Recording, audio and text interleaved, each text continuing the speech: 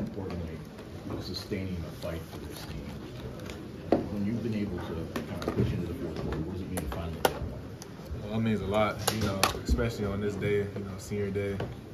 It was just a, a real emotional one for me, really. You know, just to be the last one in the wish, woodshed, just to get that win, it was a great feeling, definitely. Did you know you had the touchdown catch, and when it was being reviewed, what was going through your mind? Oh yeah, I, I knew I had the touchdown catch. You know, I was pretty confident in that one, so I was just glad, you know, they confirmed it. Did they interfere with you too on that? Looked like they might have grabbed Yeah, you. he was grabbing me a little bit, but you know, I just had to make that play for my team for sure. Talk Can you about walk me through that play, just from your perspective, what, what you saw and how you were able to do that in the celebration? Yeah, for sure. Uh, pretty much, you know, the corners uh, all day today, they kind of was playing pretty aggressive on kind of our short routes. So we kind of, you know, picked them apart and found out that we can, you know, make a double move and kind of catch the ball. So that's pretty much what I did, and I made the play. So talk about the throw from Sam. oh, it was great, great throw. You know, we definitely executed on that play, all 11 of us. So it was fun. So take your over on that. Oh yeah, he was roll over the top, so he kind of Sam fitted in there. So it was definitely great. So you've got a year of eligibility left, right? Yes, sir. This is, but you think this is, this is probably your final game uh. I'm not sure yet. Okay. I'm not Just sure. curious. How about you guys too, just for what Harlon's been through, trying to keep everything together? How satisfying is it getting a guy like that a win? Oh, it's great. You know, just after the game, seeing him smile and being with his family and stuff, like, that's moments we live for. So I'm glad he had that moment we had our moments. So it was definitely fun. What about Alante being in the room with you all year? He gets to come out there against his old team, Right. throw that pass, part of that play. Take me through that. Oh, it was great. You know, he had confidence in me and I had confidence in him to put it out there. So I'm just glad we got the win for him, really. You know, that was his old team. So it was definitely great to see him out there smiling and stuff and just having fun. Who are you most happy that had a senior day? Of all the guys you've been through, all the scrap, you've been through everything. Who's the one guy you said, man, I'm sure he got a victory his last year? Yeah, I feel like uh, my guy Nick Samac, you know, he's definitely been through, been here through the ups and downs, and just to get that win for him, it definitely was, it was big for us. How did that play develop? What do you remember about that? Yeah, I mean, it's a quarterback run designed and the running back's leading. So, you know, I'm trusting him that he's going to make a great block, which he does, like always. Um, you know, and our line held up really well. So uh, I just was able to squeeze the gap and get the first. Do you feel like you're a better quarterback now than you were a month, month and a half ago? And in, in what ways? Yeah, no doubt. I mean, in every way, you know, just processing the play, um, taking what the defense gives me, not trying to force balls and windows. Um, you know, just understanding the offense better every day, just coming to work. So, yeah, I do feel like I'm a lot better. The, uh, the hit you take there as you're trying to bring that in, give you a sense of what receivers deal with when, the, when you don't lead them correctly or anything like that? Yeah, no doubt. I mean, I didn't expect it to be like that.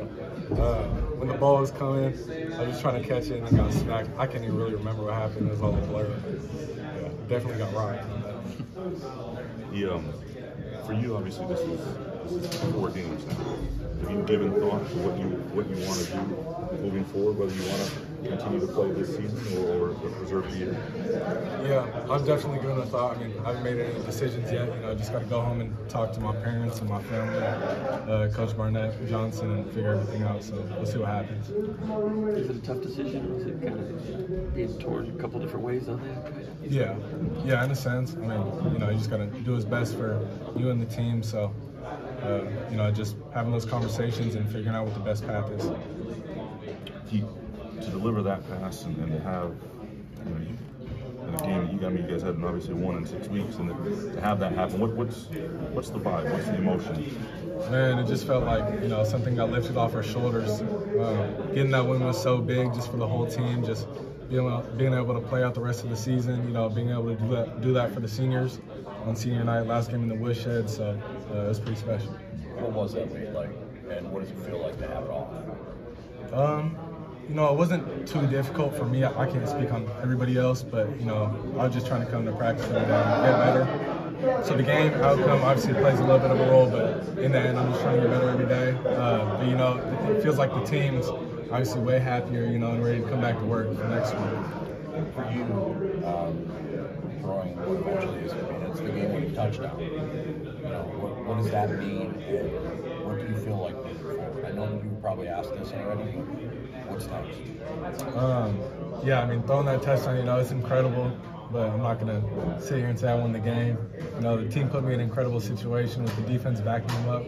You know, the punt, punt return team getting the ball right there, and then uh, obviously on my on my run for the third down conversion, you know that wasn't me, that was the O line and the running back setting that up. So, um, you know, just everybody making plays for me and setting the team up for success. offensive team huddle. You came and that was you two guys. You were hitting guys on the shoulder pads, slapping them in the helmets. What was said in that meeting? You know, It was just, I mean, by any means possible, get this one done. I mean, no matter what you got to do, do it. I mean, we need it. So everyone that can contribute, you know, just hyping them up. You know, offense, defense, special teams, get everyone ready to go. I mean, do everything we can to get this done. we got to finish. what was it? What was it like? Yeah, it definitely puts our confidence for sure. It's like a scene when we come together. Again. That's what we because especially late in the game. Every we week love it our seemed like so, a different um, kind next week, of different kind of way to we're do it. So what, what Yeah. was that like? For, and I want both of you to answer. It was tough, but I mean, you, you watch the film and you see that we have a talented team. We have good coaches. We, get, we were in position for most of those games to you know have a chance to win there at the end. And so it's, it's just like we have to. Like how we were hyping people up towards the end there, like we gotta get this done. You know, we gotta finish. That's something we haven't done in those six weeks, and that they came back to bite us for those six games. But you know, getting the finish this week, like I said, it brings life into a team, and you know, gets us some momentum going forward here. So when you build the 20 to 10 lead, looks like you're in good shape, and then they get the long quarterback run up the middle and score. Yeah. And then they get the ball back. What are you guys doing on the sidelines? What's going through your mind? I mean, we just Just gotta, hyping up the defense. Yeah. Just hyping them up. yeah, I That's mean, what you can do. and you got to control what you can control. You know, when the defense is out there doing their thing, when we're out there, we're doing our thing. And you can't focus too much on what somebody else is doing. You got to focus on, you know, we're a unit, five guys at a time, so we're getting each other right. You know, focus on our job, what we can do to help the team. Because, you know, complaining or getting upset when another team, it's football. Adversity's going to hit. That that's not going to help you at all. What you, how you can help yourself is, you know, come up with a game plan. Okay, how are we going to do our job? You know, to help them out. What are you saying on that last pass when the ball's getting batted around down there? Oh. when you see it drop, you gotta give out an amen. Yeah. Thank God. That was pretty cool. That was a pretty cool feeling. I mean, it was electric. Yeah. I mean, oh, you see all zeros and you gotta win. Just just to finish the, the question I asked him earlier about that six leagues, what you know, just what was that like going through that? just Yeah. Every week having, I guess, get yourself back up. Yeah, I mean, with everything that's going on, you know, all the adversity we've been through this year, it's been tough. But like, you know, JD and I both say we're Spartan dogs for life. So it's, you know, we're in this. You know, whoever's on our team in the moment, like we're in this for life, and we're doing this stuff together. So all through all the ups and downs, you just got to keep fighting.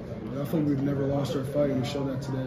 Why is that? Why, why? I mean, obviously you had some guys leave and stuff, but the guys that stayed in that locker room, We wanna win. together, and When you you love this we're hungry. sport as much as we do, and when you have a brotherhood like we have, I mean, it's not hard to fight for each other. No matter what we're going through. Adversity strikes, and we're gonna fight regardless. Yeah, and it's not like nobody's moping around the facility. We're still getting better every day, bringing the energy. We love this stuff. We're hungry to win. That's what we're gonna This do. guy's got a question over here. I was gonna say, what's it like not having a special guy like Matt Allen around the locker room? I mean, not having, not having a guy like Matt Allen is tough. You know, he's he's, he's a generational talent. Absolute atmosphere of the team, straight up leader, hard to, And I'll hard tell you something, replace a man. guy like that. Great guy, you know, great football player. Learned a lot from him. He's really fat. You guys don't have two brothers like he does, do you? That's true. Say, I mean, man, you guys have definitely passed it along. Excited to watch you guys. I'm happy for the future of the program. We just, we just hired him in the media. so yeah. So what's the lesson from this, and what do you tell the younger guys from this that they'll take forward? Man, remember this feeling, and this is your motivation to do this every single week. That's I mean, that's the biggest thing I can say.